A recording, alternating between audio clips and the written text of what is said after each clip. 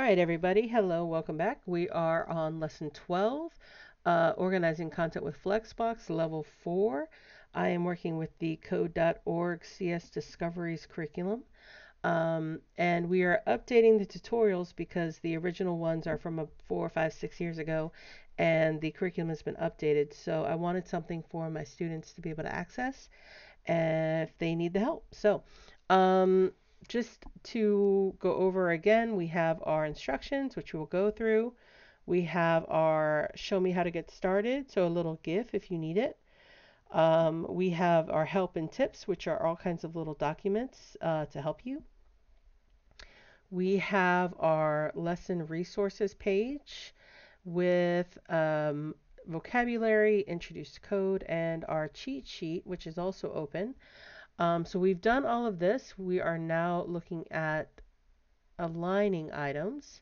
So this is where it's going to get kind of fun. Um, and let's get into it. So here we go. Align items. After we go through our first three steps of enabling flex, defining the flow direction, whether the item should wrap or not, and defining how the item should be distributed horizontally, we have the option of defining how the item should be distributed in the container vertically. We can do this with the align items property. This property has five value options. Your job is to add the align items property to each container and decide which of the five values to use for each container to make the page look more like the image to the right. So again, we've got different levels. Uh, do this. Add the align items property for each of the five div container rules in the style sheet. So here's our index file and we can see everything's already set up here we are good to go to cause some mischief. So we're going to head over to the style.css file. Um, and we have, uh, let's see, so add the align items property for each of the five div container rules in the style sheet. Match the image on the right by applying the correct value with each of the align items properties. So container one, the div container has a background color so you can see how the items are positioned. There we go. Um, background color, create a flex layout, done. Define the flow, all of that's done. If the item should wrap, yes. Justify content. So here's where we're going to get to have some fun. Add the code below to define how items should be distributed vertically within the container. All right, so we've got five options, flex start, flex end, center, baseline, stretch. All right, so for the purple one, we're trying to make this. So we know we need to put align items. Um, let's try baseline and see what that does.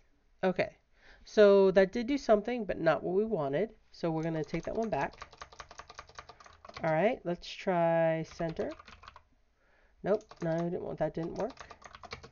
Let's try flex end. Um, no, but I have a feeling. There we go. All right, so we needed flex start. Okay, so container one, flex start. That looks right. That looks right. Let's move on to the next one. So if that is flex start, I have a feeling this is going to be flex end.